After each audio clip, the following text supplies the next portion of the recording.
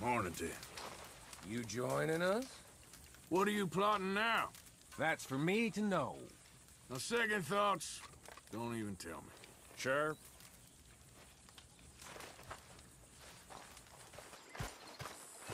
Can I tell you something?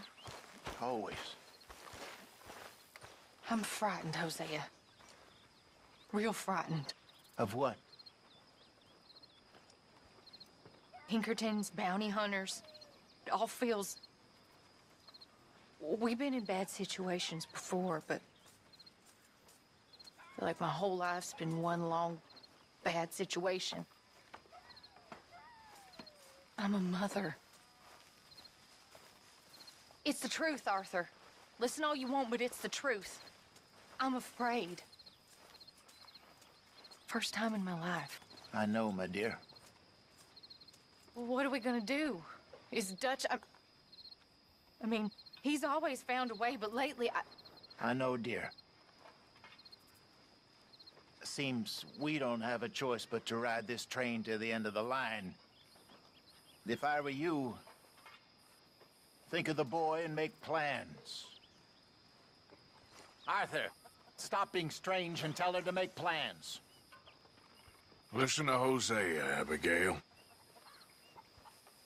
I just wish John was... I care about him. Damn fool that he is. I know, dear. Stay calm. Jack needs you calm.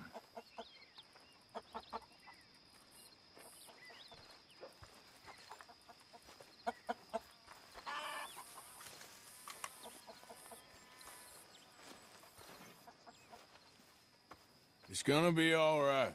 You really think so? Things will turn around. They always do. Hello. Hi, Jack.